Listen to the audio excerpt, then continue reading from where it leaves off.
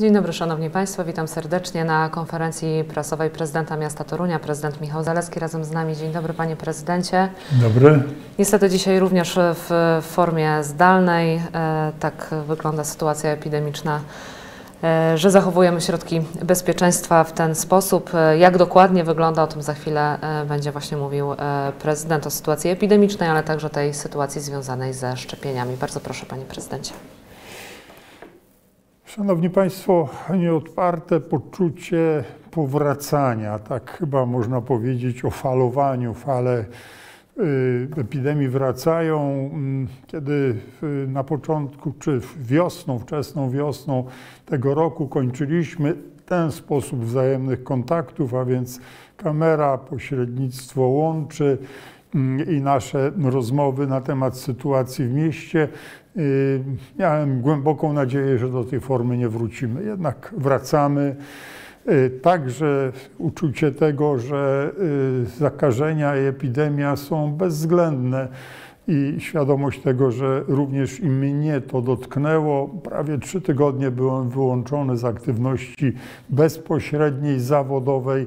Mm, to także pewne Y, pewna wiedza, z którą powinniśmy wszyscy się liczyć. Nie ma y, możliwości, żeby w 100% być bezpiecznym, jeżeli chodzi o epidemię, o zakażenia SARS-CoV-2, ale oczywiście chronić się przed skutkami, szczególnie tymi najgorszymi, trzeba. A ochrona to oczywiście szczepienia. Ale zacznijmy od zakażeń i od sytuacji związanej z zakażeniami w naszym mieście.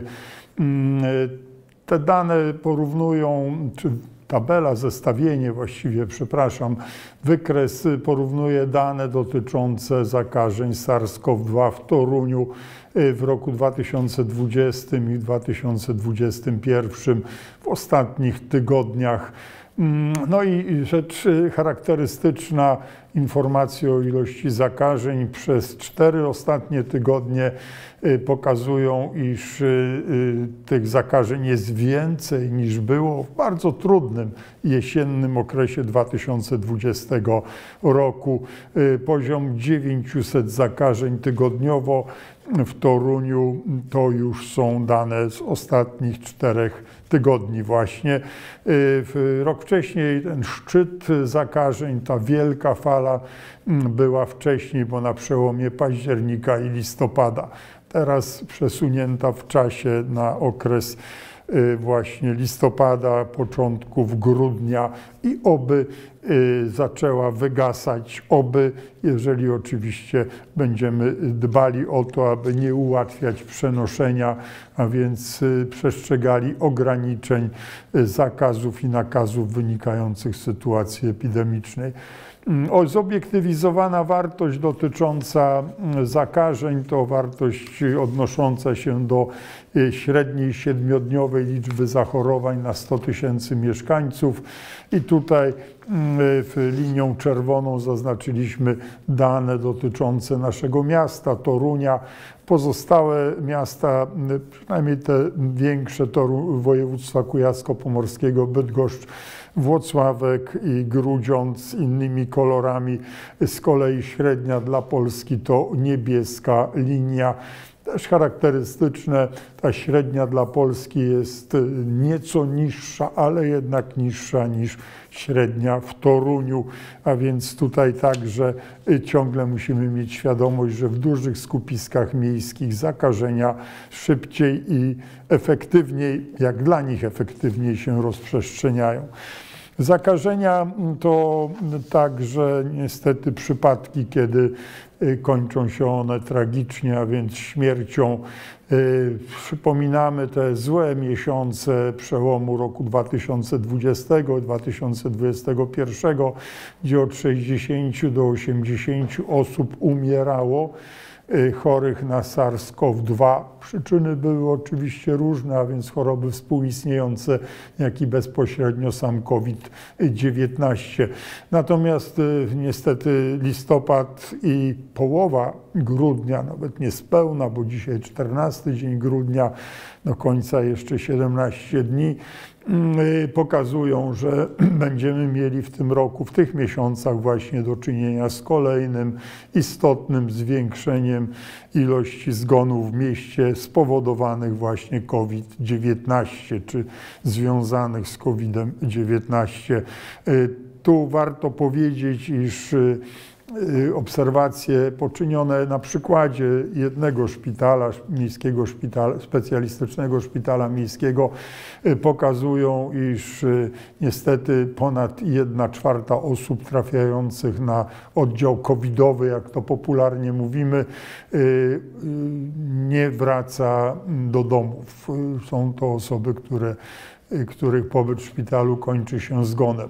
Warto o tym pamiętać. Co czwarty który musi być hospitalizowany, zakażony SARS-CoV-2, nie wraca do żywych. To też niech będzie swego rodzaju memento dla tych, którzy trywializują bądź bagatelizują tą epidemię. Tak nie wolno na to patrzeć. Zakażenia są groźne, zakażenia kończą się pobytem w szpitalu, zakażenia także dla części wspomnianej ponad jednej czwartej kończą się zgonem. Y, miejsca w szpitalach, ten wątek kolejny dotyczący epidemii. Obecnie w Wojewódzkim Szpitalu Zespolonym wyznaczonych jest 70 łóżek tak zwanych covidowych, natomiast w Szpitalu Miejskim 48 i y, z informacji, które dostaliśmy dzisiaj, to w szpitalu wojewódzkim jest 61 miejsc wykorzystanych, a w wojewódzkim, przepraszam, a w miejskim, wojewódzkim 61, a w miejskim 39 miejsc wykorzystanych. To informacje z dnia dzisiejszego. Mm, zakażenie, oczywiście y, wiadomo o zakażeniu w momencie, kiedy dokonane są wymazy i mm, wynik badań potwierdza, y, czy jest wynikiem niestety dodatnim. Mm, y, tutaj te informacje dotyczące ilości prowadzonych badań w tym kierunku już za chwilę postaram się tą informację znaleźć. Y, w każdym razie z danych z ubiegłego tygodnia wynikało, że w dni robocze badań wymazowych było y, około 600, y, średnio 600 dziennie, w weekendy mniej 200-300 i z tego około 1 czwarta to wyniki dodatnie. Mm, to potwierdza się dane, panie prezydencie. Liczba wykonanych testów y, na poniedziałek to było 208, 41 pozytywnych, ale tak w tygodniu y, około 600-700 y, takich wykonanych testów w zależności od dnia. Ten odsetek pozytywny około w okolicach setki, dwusetki, to w zależności od dni. To widzę, że pan prezydent też już dysponuje tymi danymi teraz. Tak, dziękuję bardzo. Więc y, tak wygląda y, kwestia możliwości, y, możliwości wykonywania czy zakresu wykonywanych badań w, kierunku zakażenia SARS-CoV-2. Mm, funkcjonuje pięć punktów wymazowych w Toruniu. One są w miarę równo rozmieszczone na terenie miasta, a więc zarówno przy ulicy Polnej, jak i na terenie przy Centrum Sportowym przy Skarpie, Miejskiej Przychodni Specjalistycznej na Uniwersyteckiej także w pracowni genetyki nowotworów Skłodowskiej Kiry i na BEMA y, też jest prowadzony taki punkt wymazowy. Y, specyficzne miejsca zakażeń, a więc te, o których zwykle mówimy z większą troską, także w kontekście jeszcze nierozpoczętej możliwości zaszczepień, to zakażenia w szkołach i przedszkolach oraz żłobkach. Łącznie w 34 placówkach publicznych stwierdzone są wyłączenia działalności bezpośredniej. Mówię tutaj oczywiście o szkołach, przedszkolach i żłobkach, jakby pakietyzując to, te miejsca 28 szkół, 5 przedszkoli, jeden żłobek. Oczywiście są to najczęściej pojedyncze grupy, ale zdarzają się i na przestrzeni ostatnich dwóch miesięcy były to praktycznie cotygodniowe przypadki wyłączenia całych szkół z działalności takiej bezpośredniej, a więc nauczania stacjonarnego, y, przejście na nauczanie zdalne no i także w przypadku osób, u których stwierdzono zakażenia, izolacja. Te zakażenia występują zarówno wśród uczennic, uczniów, podopiecznych, jak i także wśród personelu, także nauczycielek i nauczycieli. W niepublicznych placówkach w 13 przypadkach stwierdzone są, to są dane z dnia dzisiejszego, stwierdzone są przypadki, kiedy musiała być działalność bądź oddziału, bądź klasy zawieszona. To wątki dotyczące epidemii, jak sądzę, one no, myślę, że pozwalają mieć nadzieję, iż, iż ta fala osiąga już swoje apogeum, ale oczywiście nie ustępuje. Y, z danych, y, które dotyczą porównań miesięcznych, y, również jest taka plansza. Widać, że w listopadzie to jeden z największych szczytów zakażeń. 3400 zakażeń w Toruniu przez cały miesiąc. Podobne wartości były w listopadzie i grudniu ubiegłego roku i w marcu tego roku. No to, to są pewne informacje zbiorcze, chciałoby się powiedzieć statystyczne, ale one także obrazują to, od czego zacząłem, czyli napływ kolejnej fali epidemii, konieczność w związku z tym chronienia się przed zakażeniami i przed epidemią. Szczepienia, bo to jest ta ochrona podstawowa, główna. Mm, y, te szczepienia odbywają się w sposób, powiedziałbym, no, ciągły. W tygodniu, który zakończył się, wykonano w Toruniu ponad 7300 szczepień. Wydaje się, że dużo, ale w tym okresie, kiedy jako torunianki i torunianie byliśmy bardzo zainteresowani szczepieniami, a więc maj, czerwiec, początek lipca, Mm, e, bywały nawet tygodnie, gdzie tych zaszczepień było ponad 10 tysięcy.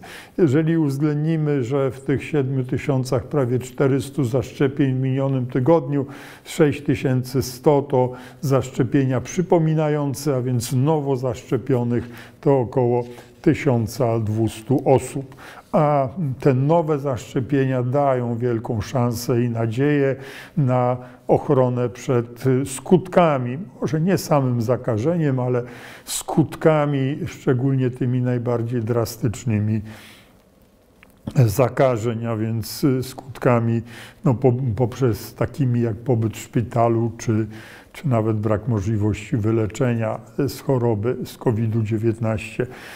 Szanowni Państwo, w tej chwili ilość zaszczepionych w Toruniu to y, nieco ponad 60%. 50% licząc do całej populacji, a więc nas wszystkich, którzy żyją w mieście, ale jak pamiętacie Państwo, szczepienia mogą być, szczepionki mogą być podawane jeszcze ciągle do dnia dzisiejszego osobom w wieku powyżej 12 roku życia. 68,5% no to już wyższy wskaźnik, biorąc pod uwagę tylko roczniki od 12 roku życia do najstarszych mieszkanek i mieszkańców Torunia. Jednak ciągle jeszcze nie jesteśmy pierwszym miastem, nawet w województwie, nie mówiąc w Polsce, jeżeli chodzi o efektywność poddawania się szczepieniom. Te 60% wszystkich mieszkańców zaszczepionych to jeszcze ciągle niewystarczająca ilość, żeby mówić o pełnej odporności. Tak, to prawda, do y, tych, którzy, do osób, które są odporne, zaliczyć można także osoby, które przechorowały COVID, a więc można by doliczyć kolejne około 10%, już w tej chwili nieco ponad 12-13% mieszkanek i mieszkańców Torunia którzy przechorowali COVID, y, ale mimo wszystko ciągle jeszcze do tego poziomu 80-90% zaszczepień lub odporności nabytej w wyniku przechorowania daleko. Myślę, że Dlatego powinno nas cieszyć, y, że od 16 grudnia, więc pojutrze, y, startuje możliwość szczepień najmłodszych, a więc w wieku od 5 do 11 lat dzieci. Mm, I uprawnionych w tej grupie wiekowej w Toruniu jest ponad 13 tysięcy dzieci Y, Bardzo prosimy rodziców, aby podejmowali za dzieci, imieniu dzieci decyzje o zaszczepieniu. Szczepionki trafiają do Torunia, szczepionki będą podawane w wielu miejscach, także w tych miejscach, gdzie gdzie do tej pory można było ze szczepień korzystać. I to są też takie miejsca, gdzie nie, nie trzeba być zaoptowanym w lokalnej przychodni, ale można po prostu, mówiąc obrazowo, zaszczepić się od ręki. Miejska przychodnia specjalistyczna, li- lecznice Citomet w dwóch miejscach, a także te szczepienia prowadzone są przez wymienione dwie, dwa podmioty opieki zdrowotnej, także w centrach handlowych Plaza, Kopernikus czy Nowe Bielawy. Mm, Z tym, że w no, Nowych Bielawach tylko dorośli i tam jest kwalifikacja pielęgniarki. Natomiast y, na przykład w centrum handlowym Plaza mogą być zaszczepione także te najmłodsze osoby, a więc dzieci w wieku 5 do 11 ra- lat. Y, Myślę, że warto także przypomnieć, iż szczepienia będą wykonywane y, w soboty i niedzielę. Najbliższą sobotę i niedzielę, przepraszam, to jest y, niedziela tak zwana handlowa. Y, W sobotę i niedzielę w Centrum Handlowym Plaza, w Centrum Handlowym Kopernikus i w Centrum Handlowym Nowe y, Bielawy. Godziny co do zasady południo, przedpołudniowe i popołudniowe w- do godziny 18 można skorzystać z możliwości szczepień. Szanowni Państwo, szczepienia prowadzone w sposób w miejscach i sposób bardzo dostępny. Zachęcam do możliwości skorzystania ze szczepień, także i te osoby, których już, które już wiedzą, że mogą skorzystać z tak zwanej dawki przypominającej. Trzecia szczepionka, jak popularnie mówimy, jak widać w poprzednim slajdzie, to widzieliśmy zainteresowanie jest y, tymi szczepionkami i warto po raz kolejny zapewnić sobie odporność na zakażenie SARS-CoV-2. Przypominam, iż na terenie kraju i także oczywiście w Toruniu obowiązują ograniczenia, y, zakazy i nakazy wynikające z sytuacji epidemicznej. Y, Zgodnie z decyzją ministra zdrowia od 15 grudnia dodatkowe obostrzenia, pewnie powszechnie znane, ja nie będę ich wszystkich cytował, o jednym zakresie, za który jako miasto odpowiadamy, przepraszam, o dwóch chciałbym powiedzieć. Po pierwsze to transport zbiorowy. Wprowadzony zostaje w transporcie zbiorowym od jutra 75% limit obecności pasażerek i pasażerów. Y, Oczywiście nadal obowiązują maseczki w transporcie zbiorowym i to jest bezwzględny obowiązek. Nie wolno wsiąść do autobusu czy tramwaju, nie zakładając maseczki. Natomiast teraz jeszcze dodatkowe ograniczenie, maksymalnie 75% miejsc zajętych.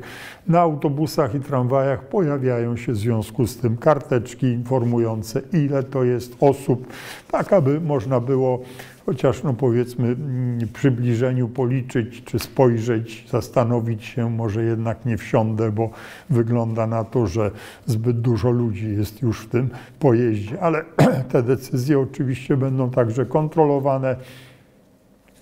Ponownie Straż Miejska została włączona do systemu kontroli i nadzoru przestrzegania zasad związanych z zakazami i nakazami epidemicznymi. Wspólnie w patrolach wspólnych z Policją Państwową wykonuje również te czynności sprawdzania, chociażby takiego, jak przed chwilą mówiłem, czyli zasłaniania twarzy, ust i nosa maseczką w transporcie publicznym, czy także sprawdzenia ilości osób, które pojazdem y, komunikacji publicznej podróżują. Nie dotyczy to tylko MZK, również i cały transport publiczny na terenie Torunia, a więc i innych przewoźników także musi się temu rygorowi y, podporządkować. I druga informacja związana z ograniczeniami od 15 grudnia to kwestia dotycząca ilości osób uczestniczących w wydarzeniach. Mówię ogólnie wydarzeniach, bo chodzi i o kina, teatry, obiekty sportowe. No to są te miejsca, gdzie działalność organizują, organizuje także miasto, organizują także nasze placówki, czy instytucje kultury, czy organizacje zajmujące się sportem. I tutaj ten maksymalny poziom obecności to 30%, ale zwiększenie limitu jest możliwe tylko dla osób zaszczepionych, o ile zostanie to zweryfikowane za pomocą certyfikatu COVID-19. Tak naprawdę pewnie dzisiaj dowiemy się szczegółów dotyczących możliwości tego, tej weryfikacji, o której powiedziałem przed chwilą. Miejmy nadzieję, że te weryfikacje będą praktyczne, możliwe, praktyczne i skuteczne. To, to, co nas od najbliższego y, czasu czeka, więc od jutra, 15 grudnia, to jest ten dzień wyznaczony na zmianę ograniczeń, zakazów i nakazów. Y, jak Państwo wiecie, są tam również i ograniczenia dotyczące placówek typowo komercyjnych, hoteli, restauracji, barów, także dyskotek y, i miejsc zabaw tanecznych. Mm, to wszystko oczywiście w przepisach ogólnopolskich i, i tam szczegóły, do szczegółów odsyłam. Proszę o zapoznanie się ze szczegółami. W tym kontekście mm, także świadomością już, że ta fala, tak jak to było widać zresztą na informacjach y, z poprzednich y, okresów zwiększenia zakażeń i zachorowań na zakażeń, a tym samym zachorowań na COVID-19, ta fala będzie ustępowała pewnie powoli, nie, nie będzie to z tygodnia na tydzień gwałtowne odejście epidemii. Stąd mając świadomość tego, co, co czeka nas w najbliższych tygodniach, y, informacja przypominająca, nie będzie żadnego wydarzenia wspólnego, tak zwanego sylwestrowego w przestrzeni ogólnomiejskiej. Y, koncerty, które przygotowuje innymi Orkiestra Symfoniczna Sylwestrowy, jak i mm, Urząd Miasta, koncert noworoczny, będą oczywiście z uwarunkowaniami dotyczącymi obecności, o jakich mówiłem przed chwilą. Natomiast także podjęliśmy decyzję o tym, aby nie organizować planowanego wcześniej w terminie 5 mm, lutego y, balu sportowca i wydarzenia, które do 2019 roku cieszyło się wielką akceptacją, uznaniem pełna sala, kilkaset osób uczestniczących w tym wydarzeniu połączonym z plebiscytem na sportowca Torunia. Sam plebiscyt na sportowca Torunia będzie prowadzony. Jego ogłoszenie nastąpi w sytuacji, miejmy nadzieję, już istotnych poluźnień w zakresie ograniczeń, zakazów i nakazów, ale termin jeszcze dzisiaj nie może być podany. I jeszcze też dla przypomnienia tego ciągu zdarzeniowego, który Y, ma miejsce mm, w najbliższych tygodniach. Y, to przypomnienie, iż 6 stycznia y, święto Trzech Króli no nie odbędzie się na terenie Torunia tradycyjny przemarsz Trzech Króli z udziałem, z udziałem mieszkanek i mieszkańców Torunia.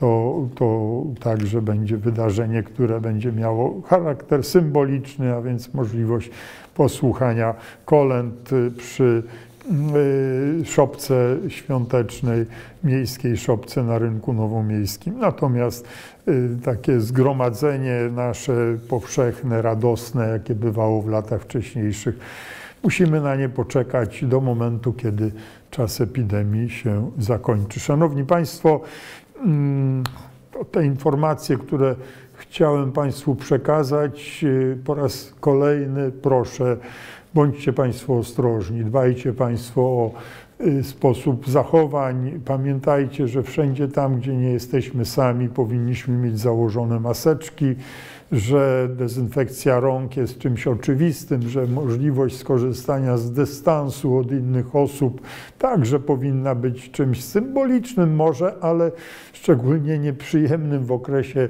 w którym jesteśmy, poprzedzającym święta Bożego Narodzenia, gdzie zwykle chcieliśmy być blisko siebie, składając życzenia. Spotykając się teraz no, zdalny sposób czy odległy sposób e, będzie tym wskazanym z przyczyn zdrowotnych. I po drugie, pamiętajmy, bardzo ważną, bardzo istotną obroną naszą przed złymi skutkami zakażenia SARS-CoV-2, zachorowania na COVID-19 są szczepienia.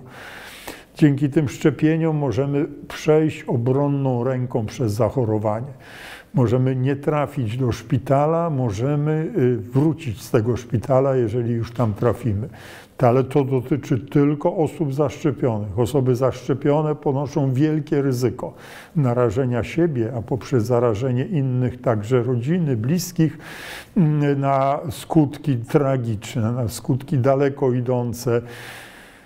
Stany pokowidowe, nawet po wyzdrowieniu wśród osób niezaszczepionych, są bardzo groźne i bardzo niebezpieczne. O tym też warto pamiętać. Dlatego proszę wszystkich, którzy jeszcze do tej pory nie zaszczepili się, korzystajmy z tej możliwości, zaszczepmy się, korzystajmy z tego, że te szczepionki są dostępne i są oczywiście bezpłatne, a więc mm, chrońmy siebie, chrońmy innych. Dziękuję bardzo.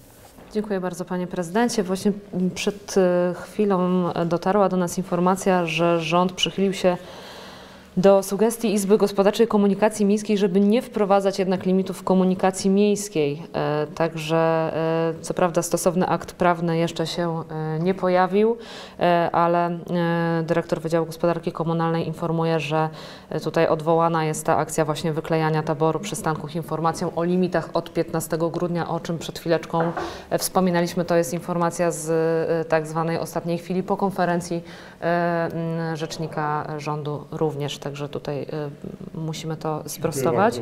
Informacje, rozumiem, y, te, które podejmuje Ministerstwo Zdrowia czy, czy rząd, one także, i taka jest y, rzeczywistość czasu epidemii czy pandemii, one też muszą być dostosowane do warunków, a więc tutaj zmiana mm, polegająca na tym, że ograniczeń w transporcie publicznym, jak zrozumiałem, nie będzie. Mm, ale to także chyba jest logiczne, bo mm, od najbliższego, od najbliższej soboty rozkład jazdy komunikacji miejskiej chyba we wszystkich miastach, a na pewno w Toruniu do 9 stycznia będzie rozkładem feryjnym, a więc y, no, dzieci i młodzież nie będą jeździły do szkół. Do przedszkoli tak, do oddziałów przedszkolnych tak, bo one będą dostępne, natomiast do szkół nie, a to są, to jest pewnie istotna część osób przewożonych transportem publicznym. Poza tym ten okres świąteczny jest także często okresem korzystania z jakichś dodatkowych dni wolnych, urlopów, więc też osób podróżujących do pracy w transporcie publicznym zwykle to wiemy po chociażby sprzedaży biletów, zwykle w tym okresie okołoświątecznym jest mniej. No to też y, pewnie y, to ten ogranicznik do 75% został uznany za ogranicznik, który byłby bardzo teoretycznie, bo praktycznie zapewne tego poziomu 75% w tym okresie, o którym mówimy, około świątecznym i wczesno-noworocznym, transport publiczny nie osiąga. E, dziękuję panie prezydencie. Jeszcze dwa do pytania od dziennikarzy, którzy przysłuchują się tej konferencji w formie zdalnej. E, Marta Łazarska z Radia SK pyta, czy właśnie w związku z tymi ograniczeniami sanitarnymi zmienia się formuła Wigilii Miejskiej. Tak, formuła Wigilii Miejskiej się zmienia. Y, ja poproszę o przypomnienie 21 y, czasu grudnia tego wydarzenia, ale formuła będzie wyglądała w ten sposób, iż zapraszamy osoby, które chciałyby y, chociaż symbolicznie, szczególnie osoby, którym jest trudno zorganizować wigilijne wydarzenie w własnym mieszkaniu czy domu, aby y, pojawiały się y, na rynku nowomiejskim Torunia dzięki aktywności, pomocy i zaangażowaniu Związku Harcerstwa Polskiego, ale także Wojsk Obrony Terytorialnej, Straży Miejskiej y, będzie zorganizowane w warunkach... Do 18, panie prezydencie, 21 grudnia, czyli wydłużone godziny są, przez 4 godziny. 21 grudnia od 14 do 18 rynek nowomiejski. Y, będzie można przyjść, dostać y, czy otrzymać, y, tak jak bywało to w wcześniejszych latach, paczkę, także otrzymać taki spakietyzowany posiłek wigilijny to wszystko będzie odbywało się z przestrzeganiem zasad wynikających z sytuacji epidemicznej, a więc odstępy między osobami stojącymi w kolejce, a więc obowiązek posiadania maseczki założonej oczywiście na nos i usta mm, i przestrzeganie też no, tego, systemu dystansu, ale i także systemu dezynfekcji rąk i wydłużony czas trwania tego wydarzenia, wspomniane godziny 14 do 18, 21 grudnia.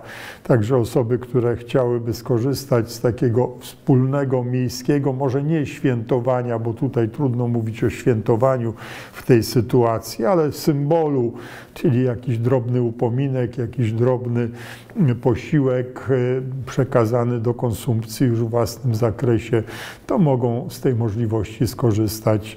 E, przygotowani jesteśmy na obecność kilku tysięcy osób. Mm, wspomniani współorganizatorzy, Związek Harcerstwa Polskiego, Pomoc Straży Miejskiej, Wojsk Obrony Terytorialnej powinny zapewnić taki e, przebieg, który nie, nie spowoduje jakiegokolwiek zagrożenia dla uczestników. Dziękuję Panie Prezydencie. Dwa do pytania z tej samej kategorii, więc y, y, skonsoliduję te pytania zarówno z Radia Gra od Pani Katarzyny Grochowalskiej, jak i od Andrzeja Korpusińskiego z telewizji Toruń. E, pytanie o oświetlenie na ulicach w Toruniu. Czy miasto planuje zrezygnować z oszczędności w tym zakresie? Są takie miejsca, gdzie naprawdę jest ciemno e, i kierowcy, zarówno piesi, martwią się o swoje bezpieczeństwo. Tutaj jest jeszcze do pytania konkretnie o brak oświetlenia na wiadukcie na trasie prezydenta Raczkiewicza, gdzie jest e, wtedy, kiedy jest mglisto, nie jest bezpiecznie, bo jest i ślisko, i ciemno. A jeżeli chodzi o oświetlenie ulic w Toruniu, tutaj y, ponad rok temu, y, półtora roku już y, tak y, ta sytuacja wygląda. Mm, zaczęliśmy podejmować decyzje o ograniczaniu zużycia prądu, bo takie to jest właściwe określenie, przy jednoczesnym warunku zapewnienia bezpiecznego oświetlenia. Ten, ten sposób ograniczania zużycia prądu czy energii elektrycznej, przepraszam, poprawne określenie, polegał na tym, iż zakładaliśmy, że co trzecia latarnia w systemie oświetlenia ulic będzie wyłączona oraz niektóre, to jest kilkanaście w skali całego miasta, gdzie mamy 500 ulic, kilkanaście ulic, tam gdzie nie ma budynków mieszkalnych, tam gdzie jeżdżą tylko samochody. Piesi pojawiają się raz na godzinę, a może nawet rzadziej, już wieczorem i w nocy pewnie wcale. Tam w ogóle będzie oświetlenie wyłączone. To są najczęściej te drogi dojazdowe do miasta, gdzieś od granic miasta w kierunku do, do właśnie do obszaru miejskiego, zurbanizowanego obszaru miejskiego. I tak sytuacja do dzisiaj wygląda. W wyniku interwencji, zgłoszeń, y, ta, ten zamysł, co trzecia lampa włączona, już spalił praktycznie na panewce. Większość lamp jest w całości włączona i one oświetlają ulice tak jak onegdaj, a więc przed 2020 rokiem. Druga sprawa, tu, która pojawia się i o której też y, wiemy, to są także zupełnie, nie, nie, zupełnie typowe sytuacje, mianowicie awarie, różnego rodzaju awarie, y, wyłączenia prądu z jakichś przyczyn także technicznych. I one są oczywiście zgłaszane i po jakimś czasie usuwane, a więc to także jest możliwe. Czy możemy posuwać się dalej i powiedzieć y, sobie, w ogóle nie myślimy o tym, aby ograniczać zużycie energii elektrycznej? Możemy. Tylko pytanie y, w zamian za co? Y, rozstrzygnęliśmy przetarg na pierwszy kwartał przyszłego roku, tylko na pierwszy kwartał. Ceny poszybowały w górę o 70%. 70%. Czyli jeżeli ktoś płaci miesięczny rachunek za prąd w domu, na przykład 100 zł, to teraz tak jak miasto to dostanie od stycznia, dostanie rachunek za 170 zł. Takie są realia cen energii elektrycznej w Polsce i w Toruniu również. Dlatego to myślenie y, takie oświetlmy wszystko wszędzie, gdziekolwiek jest, a może nawet więcej, no, wydaje się bardzo abstrakcyjne, bo przecież musimy mieć świadomość, że finansowanie oświetlenia to jest z naszej wspólnej kieszeni. I jeżeli wydamy na oświetlenie, już będziemy musieli z powodu cen wydać 70% więcej. A jeżeli z powodu zwiększenia iluminacji miasta kolejne kilkadziesiąt procent, czy kilkanaście chociaż, no to będą potężne pieniądze. To są miliony złotych. Dlatego z rozsądkiem i odpowiedzialnością podchodzimy do tej kwestii. Nie możemy y, uważać, że jeżeli tylko gdzieś y, inter, jakaś, jakieś zgłoszenie czy interwencja dotycząca oświetlenia miasta, mówię tutaj o oświetleniu ulic, chodników, ale przede wszystkim chyba takich często miejsc także no, jesienią i zimą niewykorzystywanych, jak miejsca spacerowe. Myślę, że tam lepiej po prostu zrezygnować z możliwości wieczorno-nocnego spacerowania, mając świadomość, że rzeczywiście teren może być niedoświetlony bezwzględnie i bezdyskusyjnie oświetlone muszą być rejony przejść dla pieszych, przejazdów dla rowerzystów, skrzyżowań. To są miejsca, które muszą być oświetlone. No, za wyjątkiem takich miejsc, gdzie na przykład droga prowadząca do Torunia, spoza Torunia, mm, wkracza w obszar Torunia, mm, poza ulicą i chodnikiem, ewentualnie nie ma tam żadnych domostw. Tam oczywiście oświetlanie takich miejsc no, byłoby nadmierne. Jeździmy po szosach poza terenami miejskimi żadna szosa w Polsce nie jest oświetlona. Zdaje się, tylko w Belgii szosy są oświetlone poza miastami, ale w Europie gdzie indziej nie. I, I, też powinniśmy pamiętać o tym, że jeżeli poruszamy się po szosie, przy której nie ma zabudowy mieszkaniowej, y, oświetlenie tej szosy jest nadmierne i przynajmniej w tym czasie, kiedy musimy myśleć o skutkach istotnego wzrostu cen energii elektrycznej, musimy także z rozwagą podchodzić do tego problemu. A więc on jest skomplikowany, wielowątkowy. Są miejsca, jak już powiedziałem przed chwilą, gdzie oświetlenie absolutnie musi, musi być. Stuprocentowe, wspominane przejścia dla pieszych, przejazdy dla rowerzystów, skrzyżowania y, w miejscach ulic osiedlowych, ulic, gdzie jest zabudowa mieszkaniowa, w zdecydowanej większości pełne oświetlenie.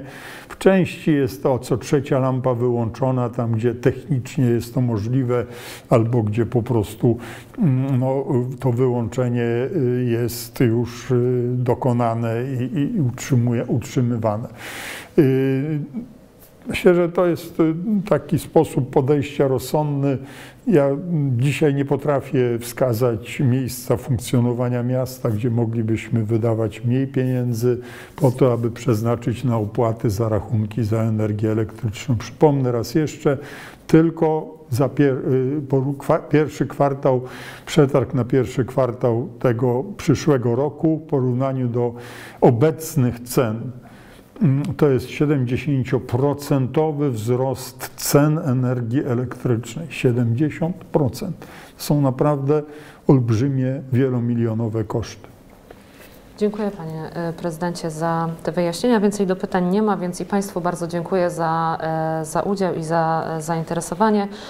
Wszelkie potrzebne materiały oczywiście prześlemy do Państwa. Zachęcam także do śledzenia informacji na stronie internetowej www.toruń.pl. Sytuacja jest dynamiczna i jak słyszeliśmy dzisiaj na konferencji, te informacje potrafią się również z godziny na godzinę zmienić. Także jeśli chodzi o otwarcie punktów czy obostrzenia, również te aktualizacje na naszej stronie staramy się na bieżąco dodawać. Dziękuję bardzo i o terminie kolejnej konferencji będziemy jeszcze Państwa e, informować. Dziękuję bardzo.